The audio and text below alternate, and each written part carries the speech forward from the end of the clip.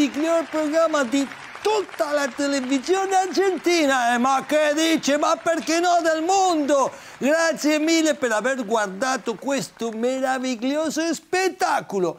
È arrivato il momento migliore della giornata, il momento in cui vai a divertirti. Io sono parte della famiglia di Sicilia! Che bella cosa!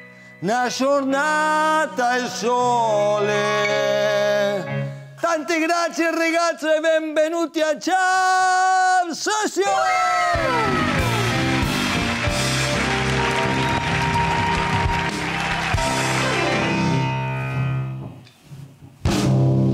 Mis hermosos televidentes, hoy quiero hablarles de la soberbia.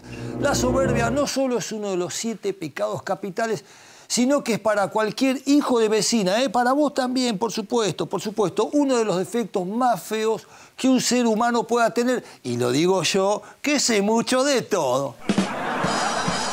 De todas maneras, el soberbio cava un poco en su propia fosa. ¿Viste? Cuando, cuando aparece en vuestra la hilacha de entrada, es que ¿Quién quiere a un soberbio cerca suyo? A mí me pasó un poco eso al principio, me aislaban bastante, me hacían un poco de bullying hasta que se dieron cuenta que soy el número uno. Ustedes deben saber que al argentino se lo tiene medio como soberbio en muchos países. Están convencidos que el argentino es fanfarrón creído. Muchos conocemos esa frase que dice, para suicidarse, un argentino se tira desde la punta de su propio ego. Pero me parece una exageración. ¿eh? Para, mí, para mí que nos tiene un poco de envidia. Claro que sí que nos tiene envidia. Si somos lo más grandes que hay los argentinos. En realidad es cierto que somos un poquito soberbios, que Maradona, que Messi, que Ginóbili, que la Virome, que colectivo, que Dulce de Leche, que la avenida más larga del mundo. Eso sí, nunca inflación cero.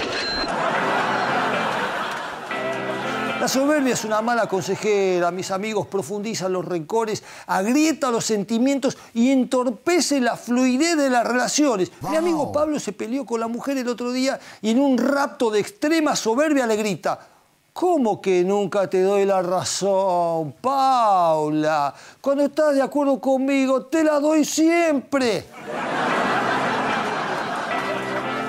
Lo concreto, queridos televidentes, es que la soberbia y la, a la larga no es negocio. Imperios gigantes han caído gracias a la soberbia de sus gobernantes. Los reyes más importantes sucumbieron a la soberbia. Lennon y McCartney separaron los Beatles debido a la soberbia.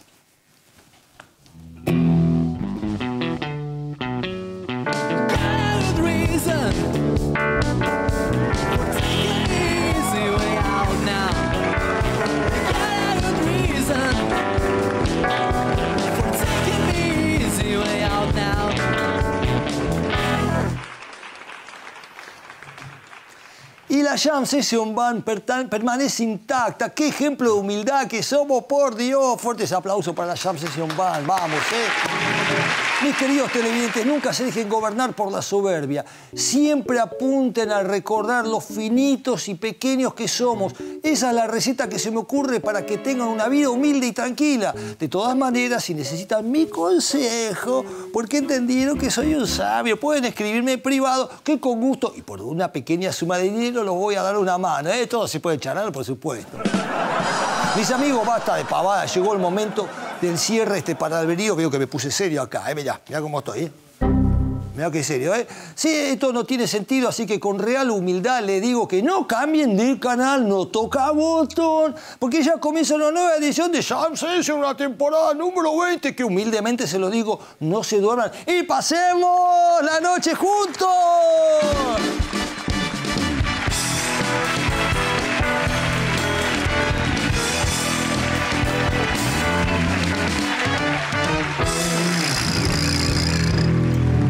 Bueno, ¿cómo anda la, banda, esta banda maravillosa, la banda bochinchera? Santi Gonela en el piano, José Luis Colzani en la batería y Sergio Mayorano, el rey de las frecuencias bajas, vagas, iba a decir. También, también, En el, en el vago, digo en el bajo.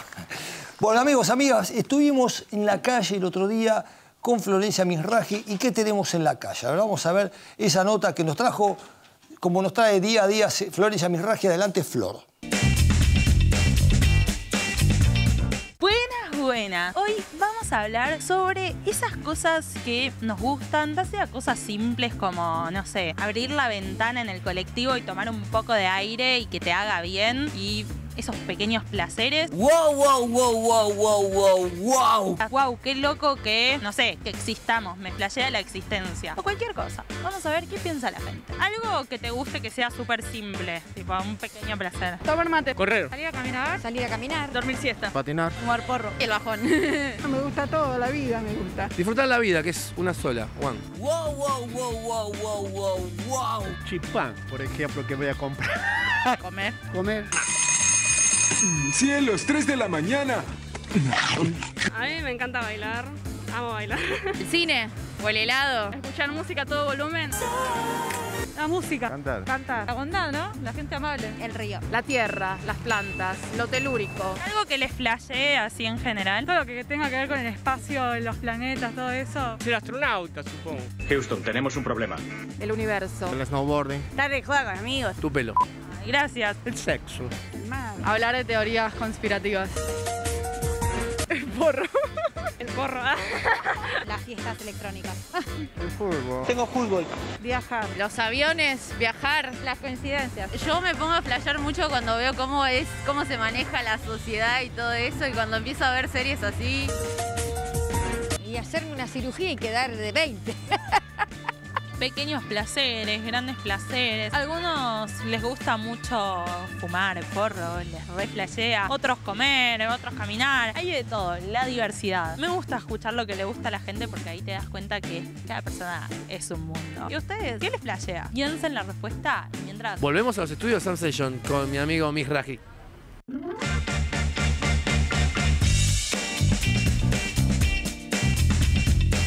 Muchas gracias, gracias ahí, qué linda, qué- pero qué presentación. Bueno, muchas gracias. Eh, en el próximo bloque vamos a tener a un director de teatro, dramaturgo, guionista, un tipo que ya tiene una larga, larga, una vasta trayectoria en grandes marquesinas en la Avenida Corrientes, en el Teatro Off, con su propia sala también. Amigos, amigas, lo vamos a tener acá en nuestros estudios, charlando con nosotros a Javier Dolte. Un placer. La verdad que se viene un capítulo excelente hoy, un, lindo programa. Bueno, te cuento que si no sabés qué comer, te recomiendo estas empanadas de mi gusto, que pueden ser del tuyo, empanadas de mi gusto. Amigos, amigas, nos vamos un corte, una pequeña tandita y en el próximo bloque lo tenemos acá en vivo a Javier Dolte. No te muevas.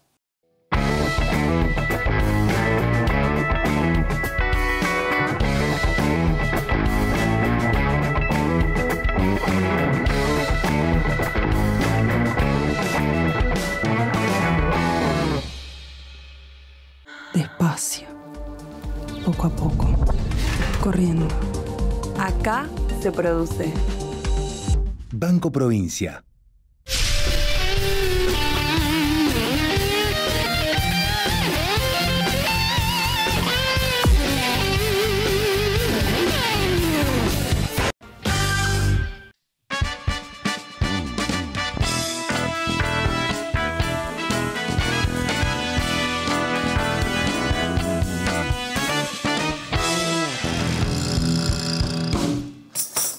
Amigas, el momento más esperado, que, el momento más importante, el momento crucial del programa es el momento donde ya no hablo más y recibimos a nuestro invitado de lujo. Señoras, señores, tengo el honor de recibir acá en nuestro programa con ustedes Javier Dolte.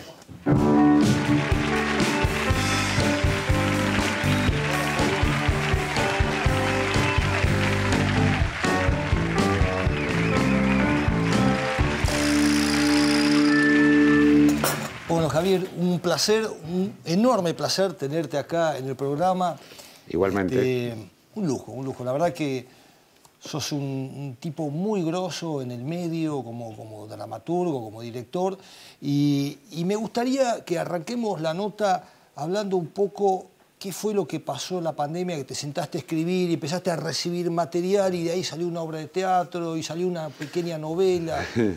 Eh, sí, escribir.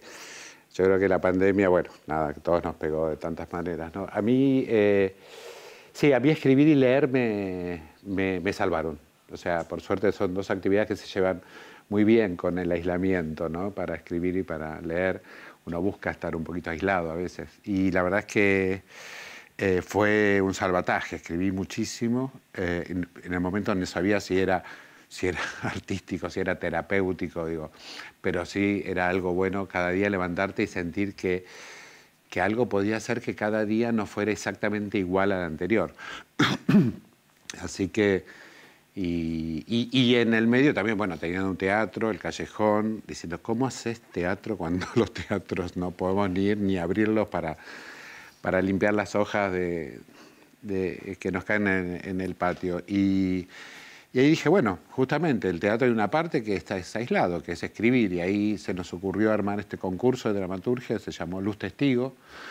Que luz testigo es la luz que hay en los teatros Sí. encendida todo el tiempo, Todo el por- tiempo. para que cuando alguien entra pueda ir a prender la, Eso las tras luz- bambalina. ¿Cómo? La luz está tras bambalina. en- la luz eh, sí, o estar, no, sabes que suele estar, es como, ahora ya no se estila, pero suele ser como un pie de micrófono Sí. eh, con una lamparita en el medio del escenario. Ah, como mira. que da una tenue luz que, bueno, podés entrar y no, y Ah, no claro. matarte cuando Sí, sí. que viste tropezando con los cables. lo- Así que armamos ese concurso de obras breves y, bueno, eh, el- hubo un jurado, o sea, entonces, eh, y se eligieron cinco obras para, la idea era armar un, que se pudiera conformar un único espectáculo que iba a dirigir yo. Y así que cuando se empezó a aproximar a comienzos de este año, la ¿no? esa esperanza de que pasara este, el encierro, que de hecho en el verano pasó, eh, de ahí, me, de ahí, ahí empecé a armar este espectáculo que se llama Los Testigos, que estamos haciendo y que la verdad es que fue un pequeño milagro desde todo punto de vista, pero porque, bueno, estoy muy contento con el resultado, a la gente le gusta mucho. Son obras que tocan tangencialmente el tema de la pandemia, pero no de forma directa. Son Y pequeñas obras. ¿no es Son cierto? cinco historias, sí, las concebí como, cinco, como si fueran cinco cuentos, ¿no? Y bueno, el mundo de la música, ya que tanto músico por acá, me ayudó muchísimo Vos, para... vos decís porque huelen y no se bañan, pues les digo, ¿eh? Sí. No, no, no, no. Porque, no, como antes, antes de, de- de arrancar que te decía que realmente yo tengo una profunda admiración por los músicos, soy como un, un- un inútil. En mi casa era, mi hermana sabía música y yo Ah. no, ya era, viste, el mandato era vos no vas a servir para esto. ¿En serio? Mira vos. No, no, no, bien, es una familia adorable, pero viste estas cosas que pasan, Sí, ¿no? Vos sos bueno sí, para sí. esto y vos no. Pero soy muy, son, soy un- creo que son seres superiores los músicos.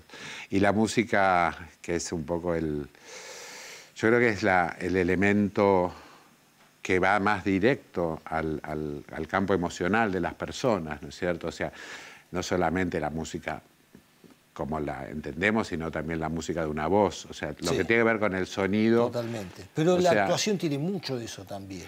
Pero La- también, es, pero, y tiene que ver también, pero mucho también con, con la voz y con, ¿no es cierto? Uno, re- uno puede detectar un- en una actriz, en un actor, una, eh, un momento emocional por la voz. Totalmente. La lágrima la, podemos, porque tiene, sí, Claro, y además, claro. viste, tiene, cuando viste la, la voz, sí. de pronto se te, se te, la voz es lo que está eh, muy rápidamente afectado por la emoción. De hecho, cuando estamos muy emocionados nos cuesta hablar. Totalmente, totalmente. Ahora, cuando vos escribís, escribís alguna una obra de teatro, algún guion, eh, o sea, dramaturgia, y ¿pensás en eso? ¿Pensás en, la voz, que es un instrumento que proyecta y que dice mucho, más allá de la parte corporal? Sí, lo pienso porque muchas veces he escrito diálogos, eh, obras como hace muchos años, Besame Mucho, que eran una comisaría, que eran 11 actores, 11 personajes en un lugar muy chico, y usaba, por ejemplo, o sea, escribí, creo que eran siete diálogos simultáneos, y yo sabía que ninguno, nadie iba a poder entenderlos porque eran todos al mismo tiempo, pero que eso iba a crear una música, Claro. es un, campo sonoro, ¿no? Sí. Eh, entonces sí lo tomo en cuenta, yo tomo en cuenta, digo, esto va a ser dicho muy rápido, esto va a ser, digamos, hay algo donde uno cuando escribe, no solamente escribe palabras y contenidos, sino que además escribe una respiración escénica, por decirlo de algún modo. ¿no? Claro. Entonces también toma en cuenta los silencios y, eh, y los contrastes, ¿no? porque en ese sentido lo pienso muy musicalmente. Claro. Eh, y de hecho, pues, yo una vez tengo un escrito teórico que se llama la palabra el ruido y la música, ¿no es cierto? Hay- Como vos, los- vos que decís un teórico, hay un método, tu método se utiliza en España, ¿no es cierto? Para, para enseñar de dramaturgia. Actuación. Ah, El actuación. que, el, España- el que se usa, sí, que, la- que- que- sí, que le pusieron procedimiento Dolte por, por, por- por nada, por darme un crédito. Claro. Eh, y es muy, sí, la verdad que es una cosa muy llamativa que la gente que se forma en, en esa escuela, es una escuela muy importante, se llama Eolia, dicen, bueno, pues estoy haciendo Dolte, como que es la materia. Y como y a veces, y como son gente muy, muy joven, los que estudian, muchos creen que estoy muerto, como están. como- Qué- no, qué bueno. qué una bueno. vez que fui a Ahora, hacer- vos, eh, vos siempre hiciste teatro comercial, Avenida Corriente, las grandes marquesinas, grandes elencos, y también tenés el teatro off. ¿Qué, qué, rescatas de cada, digamos, de cada cosa? Eh, yo trabajo siempre, una pregunta que se me suelen hacer, o sea, por un lado, obviamente el teatro alternativo es un espacio eh, claramente de experimentación, lo cual no quiere decir que sea amateur, es decir, es un espacio donde uno puede darse unos permisos eh, poéticos, por llamarlo de algún modo, eh, mm, diferentes. Yo creo que en el teatro, yo, yo trabajo igual en el teatro comercial que en el teatro alternativo. Pones el mismo ímpetu en ambas. Me entusiasmo de la misma manera y también me, porque lo tomo como cada, cada proyecto como una aventura, ¿no es cierto? Hoy, hoy, hoy a la mañana tuve una, una reunión ya con los creativos de lo próximo que voy a hacer y es como ponerse a preguntar, no estamos preguntándonos qué va a vender o no, para eso Claro. hay un productor, y ya nos pusimos de acuerdo. no es tu- Ese- no es tu área. es esta obra, es, es- ya te- este es el elenco, eso tendrá sus argumentos de venta, pero después yo me meto con, Claro. con lo artístico, el- el- la parte comercial es para producción, para el ejecutivo, ¿no es cierto? Exacto, y luego Está nos bien, sentamos a ver y a, a pensar juntos, ¿no? Pero Está buenísimo. Javier, vamos a hacer un juego. Ahora la gente a la medianoche quiere, quiere ver sangre, quiere ver la parte amarilla, quiere, y aparte te quieren conocer más profundamente. Entonces vamos a hacer un juego, si está de acuerdo, que es un ping-pong de preguntas y respuestas, pero más, más urticante. ¿Estamos de acuerdo? ¿Lo hacemos? Sí, dale. Vamos, vamos para adelante. Bueno, pero antes te quiero decir que si te gusta tomar buen vino a buen precio y de los que no se consiguen en el supermercado, vino para quedarse. Tiene propuestas para combos, degustar distintas bodegas y sepas contactarlos por Instagram, arroba vino, guion bajo, para, guion bajo, quedarse, guion bajo, elegí y te lo envían gratis a tu casa. Y ahora sí, amigos, amigas, llegó el momento de las preguntas trasnochadas.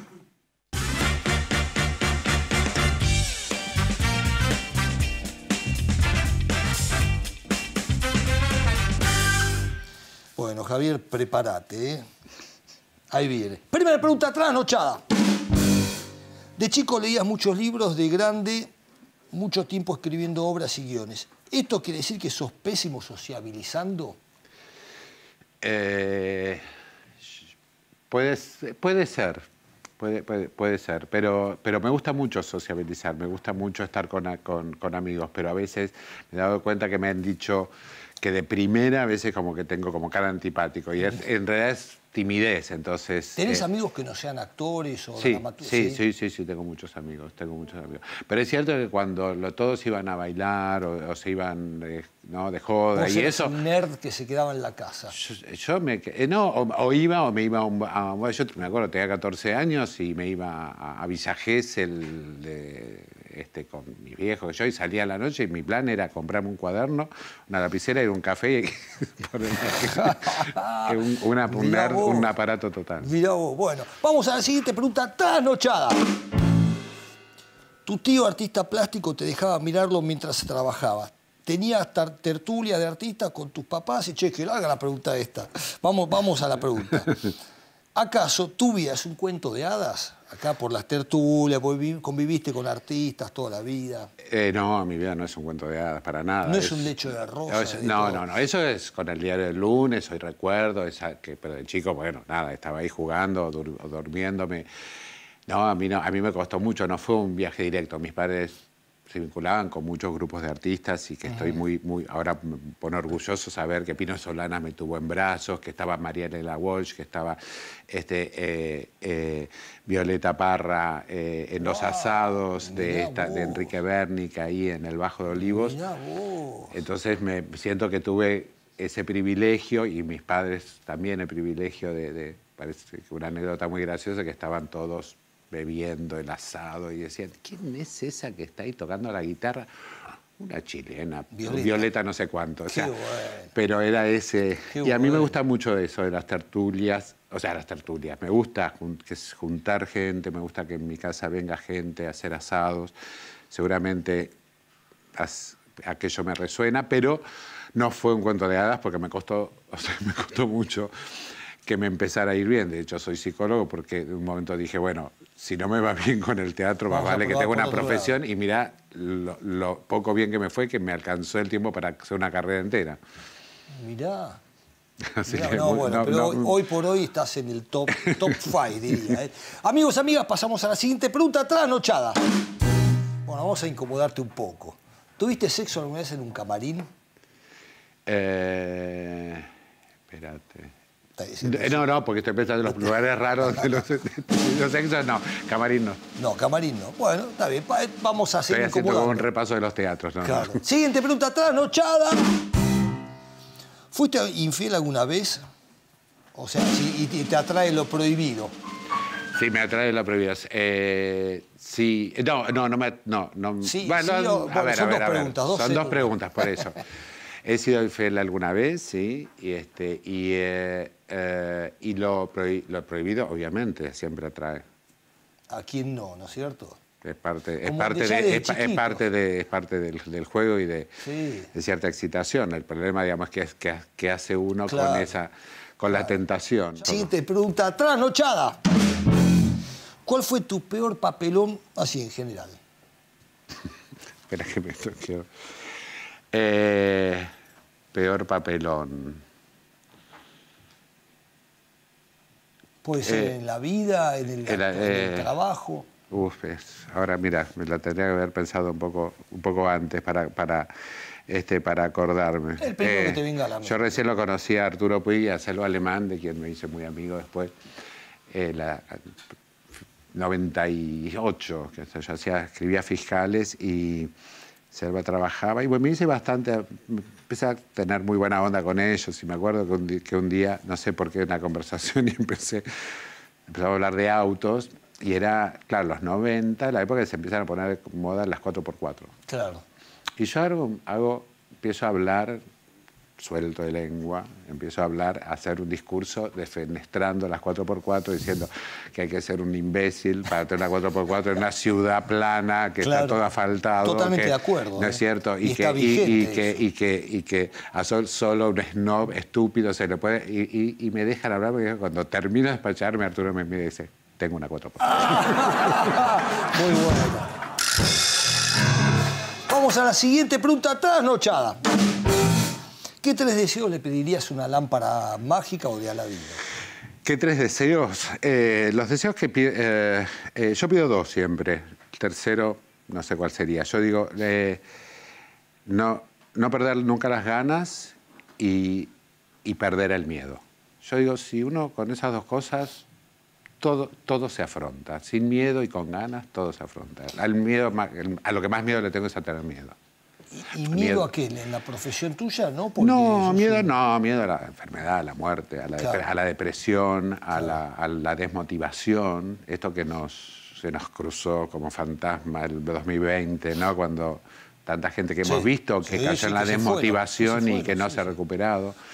Entonces, por eso, no perder las ganas y perder el miedo son mis dos grandes deseos que ante cualquier pedido de deseo siempre son los dos que Está digo. buenísimo, está buenísimo. ¿Y vos cómo te llevas con colegas dramaturgos, digo, no sé, Cartoon, eh, con co- colegas que, que están en, en el mismo camino que el tuyo?